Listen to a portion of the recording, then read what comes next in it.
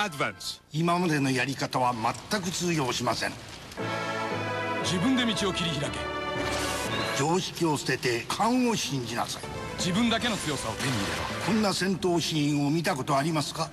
ろモンスターを撃破しろ。これはロールプレイングゲーム最大の試練なのです。ゲームボーイアドバンス。黄金の太陽。開かれし封印。こんなの今まで見たことありますか？Pues creo que ya he hablado de Golden Sun, pero lo he vuelto a traer. El juego de la Game Boy Advance, que salió en 2002, que está desarrollado por Camelot Software. Es un clásico RPG, eh, que es la- el género que más me gustaba en su momento. Y era pues el clásico juego en RPG de, de- en 2D, obviamente, de los típicos chavales que tenían poderes extrañamente y tenían que ir un poco a salvar el mundo que empezaba a irse toda la mierda.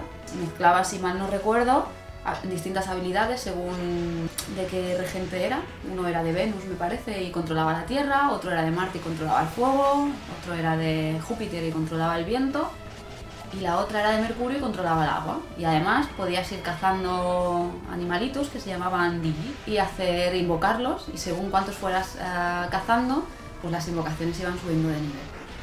Juego por turnos, normal y corriente de un RPG en aquel entonces. Los gráficos, pues tipo japoneses, eran muy chulos porque te salían dibujitos de los Dijin y de los, de los ataques y tal, eran muy guays. Creo que lo he empezado a jugar como un millón de veces, pero que no me lo he llegado a pasar nunca.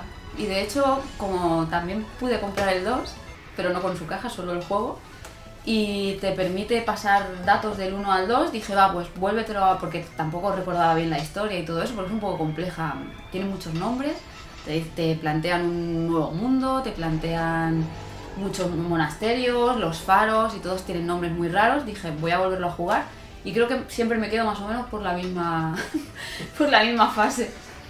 Y no me lo he pasado, la verdad es que no me lo he pasado. Creo que es el juego que más veces eh, he iniciado, pero que nunca me he llegado, me he llegado a pasar. Y, y la verdad es que me gustaba mucho, tanto el sistema de juego como los personajes, el diseño. Los malos también eran muy chulos y no eran exactamente malos, era como que no sabías por dónde pillarlos. Pero no me lo he pasado, no sé qué pasa con, con él. Y ahora hay otro para la DS y pensé lo mismo, pásatelos otra vez los dos, pero ahí Ya me quedé. ya O sea que si alguien se lo ha pasado y me quiere decir qué pasa, ¿Qué, qué hay diferente entre ese RPG y los demás? ¿Qué es lo que lo caracteriza? Creo que, que no solo tienes las habilidades, sino que los personajes, aunque sean invocaciones, que todos los juegos tienen invocaciones, ¿no? Final Fantasy tiene invocación, pero era distinto, porque representa que eran, no rollo Pokémon, pero eran bichillos que tú ibas pillando y entonces, no sé, tenía como cierta gracia. Y entonces tenías que aumentar tus habilidades, y tenías sinergia, se llamaba, y cada uno tenía como unas habilidades distintas, sino que además le añadías lo de los muñequitos y algunos eran difíciles de encontrar y claro, podías, no sé si podías cargar tres o cuatro y te iban cambiando los ataques, entonces había un montón de ataques distintos. Cuando conseguías tener a cuatro personajes con tus cuatro muñequitos cada uno, era una pasada. Y aparte, eso, las invocaciones en su momento pues eran muy chulas. Claro, era un Final Fantasy VII, que las invocaciones ya empezaban a ser eh, muy impresionantes, pero a nivel de dibujo, que si te gusta la animación, si te gusta la ilustración, así en japonés, era muy chulo. Y los personajes también eran muy, eran muy chulos todos en diseño. Típico así medieval, con magias y de aventura, pues estaba muy chulo. Estaba muy chulo. Este es el como el sello roto, de Broken Seal. Y el 2 es la edad perdida. Y en el. Hay uno ahora de DS. Bueno, un- ahora. ahora, igual tiene. Es de 2010, ¿vale? Pero para mí es ahora. Ocho años arriba. que es eh, Oscuro Amanecer. En este tenías, empezabas con el prota y luego había un chico que parece que muere en, en la primera explosión que hay y luego creo que es el prota de- del 2, pero luego vuelve a salir este prota que es realmente el, el que va saliendo y te van saliendo los familiares de los personajes que salían en el primero. Entonces están, que no lo he jugado, ¿eh? porque como no consigo pasar este, pero, pero lo estuve leyendo y están todos bastante relacionados. Y no sé si han cambiado mucho el sistema de juego, pero en la portada siguen saliendo los bichillos estos, los Dijin, y me imagino que funcionará igual. Algo Sun. El típico de que pues, el prota controla una cosa, el amigo es el fuerte, el otro es más para curas, era lo típico que te ibas poniendo.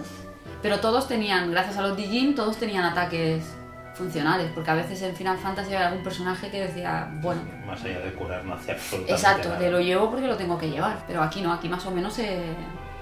creo que se equilibraba bien, que todos iban muy bien.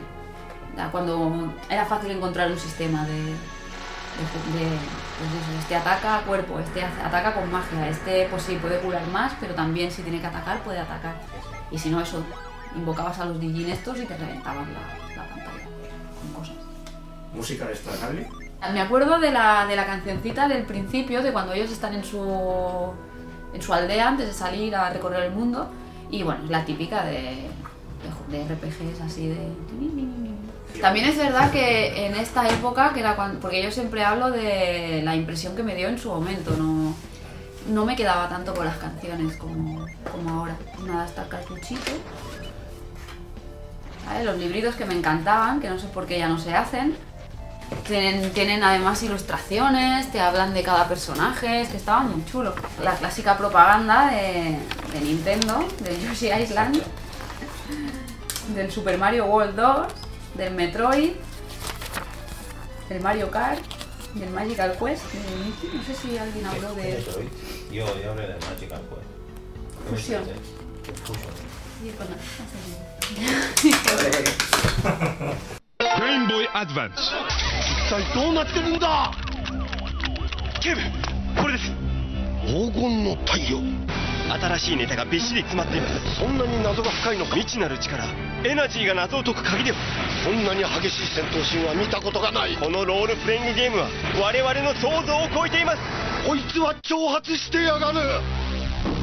ゲームボーイアドバンス黄金の太陽失われし時。完全にハマっちゃってるよ